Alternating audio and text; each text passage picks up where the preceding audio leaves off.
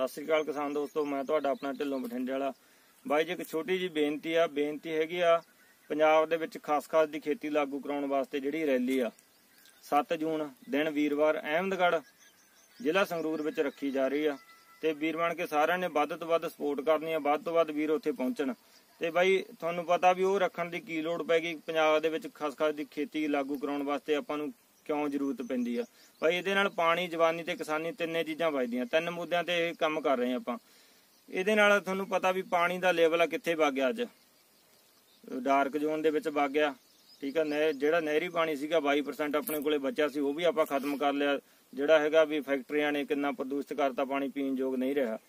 ਤੇ ਬਾਈ, ਜਿਹੜੀ ਜਵਾਨੀ ਆ, ਤੁਹਾਨੂੰ ਪਤਾ ਮੈਡੀਕਲ ਨਸ਼ੇ ਕਰ ਕਰਕੇ ਅੱਜ ਜਿਹੜਾ ਸਿੰਥੈਟਿਕ ਨਸ਼ਿਆਂ ਨਾਲ ਕੀ ਜਵਾਨੀ ਦਾ ਹਾਲ ਹੋ ਗਿਆ। ਜਗ੍ਹਾ ਜਗ੍ਹਾ ਤੇ ਬੇਬੀ ਸੈਂਟਰ ਖੁੱਲ ਗਏ ਨਾ ਤੇ ਜਿਹੜੀ ਕਿਸਾਨੀ ਆ, ਕਿਸਾਨੀ ਦਾ ਤਾਂ ਆਪਾਂ ਨੂੰ ਹਾਲ ਦਿਖਦਾ ਹੀ ਆ। ਬੁਰਾ ਹਾਲ ਆ ਬਾਈ, ਜੇ ਖਸਖਸ ਦੀ ਖੇਤੀ ਲਾਗੂ ਹੁੰਦੀ ਆ ਤਾਂ ਵੀ ਸਾਰੀਆਂ ਚੀਜ਼ਾਂ ਦਾ ਹੱਲ ਹੁੰਦਾ। ਕਿਸਾਨੀ ਵੀ ਬਚਦੀ ਆ, ਜਵਾਨੀ ਤੇ ਪਾਣੀ ਵੀ ਆਪਣਾ। ਪਾਣੀ ਦੇ ਬਈ ਤੁਹਾਨੂੰ ਦੱਸਦਾ ਵੀ ਇਹਦੇ ਆਪਾਂ ਨੂੰ ਵੀ ਇਕੱਲਾ ਪਾਣੀ ਨਹੀਂ ਜਾ ਰਿਹਾ। ਪਾਣੀ ਦੇ ਨਾਲ ਨਾਲ ਆਪਣੇ ਹੋਰ ਵੀ ਬਹੁਤ ਨੁਕਸਾਨ ਹੋ ਰਿਹਾ ਝੋਨੇ ਦੇ ਨਾਲ ਨਾਲ ਵੀ ਆਪਣੇ ਕੋਲੇ ਹੱਲ ਹੈ ਨਹੀਂ ਕੋਈ ਹੋਰ ਖੇਤੀ ਦਾ। ਬਦਲੀ ਕਰਨ ਵਾਸਤੇ ਹੋਰ ਬਥੇਰੀਆਂ ਖੇਤੀਆਂ ਲੋਕਾਂ ਨੇ ਕਰਕੇ ਵੀ ਦੇਖ ਲੀਆਂ ਨਾਲ ਨਾਲ ਕਿਸੇ ਨੇ ਆਲੂ ਵੀ ਲਾਏ, ਟਮਾਟਰ ਵੀ ਲਾ ਲਏ, ਖੀਰੇ ਵੀ ਲਾ- ਸਭ ਸੜਕਾਂ ਤੇ ਸਿੱਟੀ ਜਾਂਦੇ। ਕਿਸੇ ਕਿਸੇ ਕੋਈ ਮੁੱਲ ਨਹੀਂ ਪੈਂਦਾ। ਇਹਦਾ ਇੱਕੋ ਇੱਕ ਹੱਲ ਆ ਖਸਖਸ ਦੀ ਖੇਤੀ।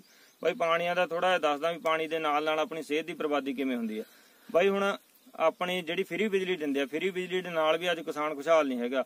ਜਿਹੜੀ ਫ੍ਰੀ ਬਿਜਲੀ ਦਿੰਦੇ ਆ, ਇਹਦੇ ਵਾਸਤੇ ਚਾਰ ਥਰਮਲ ਕੰਮ ਕਰਦੇ ਆ ਪੰਜਾਬ ਦੇ ਵਿੱਚ। ਚਾਰ ਥਰਮਲਾਂ ਦੀ ਘੱਟੋ ਘੱਟ 1100 ਕਰੋੜ ਆਪਾਂ ਜਿਹੜੀ ਹੈਗੀ ਯੂਨਿਟ ਬਿਜਲੀ ਦੀ ਉਹ ਆਪਾਂ ਖਪਤ ਕਰ ਦਿੰਨੇ ਆ ਸਾਲ ਦੇ ਵਿੱਚ। ਤੇ ਇਹਦੇ ਵਾਸਤੇ ਲਗਭਗ 5800 ਕਰੋੜ ਦਾ ਜਿਹੜਾ ਹੈਗਾ ਖਰਚਾ ਆ ਜਾਂਦਾ ਹੈਗਾ। ਉਹਦੇ ਕੀ ਹੁੰਦਾ ਬਈ ਜਿਹੜੀਆਂ ਟ੍ਰੇਨਾਂ ਕੋਲੇ ਦੀਆਂ ਆਉਂਦੀਆਂ, ਭਰ ਭਰ ਕੇ ਆਪਣੇ ਪੰਜਾਬ ਦੇ ਵਿੱਚ, ਬਠਿੰਡੇ ਦੇ ਜਿਹੜੇ ਵੀ ਥਰਮਲ ਦੇ ਵਿੱਚ ਆਉਂਦੇ ਹੈਗੇ। ਚਾਰ ਵਿਗਿਆਨ ਦਾ ਇੱਕ ਹੈਗਾ ਵੀ ਉਹ ਕਹਿੰਦੇ ਵੀ ਇੱਕ ਚੌਥਾਈ ਹਿੱਸਾ ਜਿਹੜੀ ਰਾਖ ਹੁੰਦੀ ਹੈਗੀ। ਬਈ ਆਪਣੇ ਜਿਹੜੀ ਕੋਲੇ ਦੀ ਟ੍ਰੇਨ ਤਾਂ ਭਰ ਕੇ ਆ ਜਾਂਦੀ ਆ, ਕਦੇ ਕਿਸੇ ਨੇ ਰਾਖ ਦੀ ਟ੍ਰੇਨ ਉੱਥੋਂ ਭਰੀ ਜਾਂਦੀ ਦੇਖੀ ਹੈ, ਜਿਹੜੇ ਖਪਤ ਹੋ ਕੇ ਰਾਖ ਨਿਕਲਦੀ ਆ। ਬਈ ਕਿਸੇ ਨੇ ਨਹੀਂ ਦੇਖੀ ਹੋਣੀ ਮੇਰੇ ਖਿਆਲ 'ਚ। ਪਰ ਵੀਰੋ, ਰਾਖ ਦੀ ਟ੍ਰੇਨ ਨਹੀਂ ਜਾਂਦੀ ਦੇਖੀ, ਪਰ ਕੈਂਸਰ ਵਾਲੀ ਟ੍ਰੇਨ ਕਦੇ ਸਟੇਸ਼ਨ ਤੇ ਆ ਕੇ ਦੇਖੋ, ਬਠਿੰਡੇ ਉੱਥੋਂ ਚੱਲਦੀ ਹੈਗੀ। ਉਹ ਜ਼ਰੂਰ ਭਰ ਕੇ ਜਾਂਦੀ ਹੈਗੀ। ਉਹ ਦੇਣ ਕੀ ਦੀ ਆ ਬਈ? ਇਹ ਥਰਮਲਾਂ ਦੀ ਦੇਣ ਆਗੀ। ਇਹ ਜਿਹੜੀ ਰਾਖ ਆ, ਕੋਈ ਤਾਂ ਆਪਾਂ ਪੁਲਾਂ 'ਚ ਪਾਈ ਜਾਂਦਾ, ਕੋਈ ਜ਼ਮੀਨਾਂ ਦੇ ਵਿੱਚ ਦੱਬੀ ਜਾਂਦਾ, ਕਿਸੇ ਸਿਮੈਂਟ 'ਚ ਪੈ ਗਈ, ਉਹ ਆਉਂਦੀ ਆਪਣੇ ਕੋਲ ਹੀ ਆ।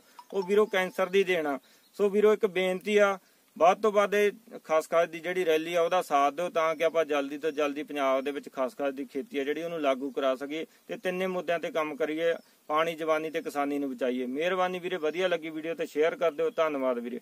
ਬਹੁਤ ਬਹੁਤ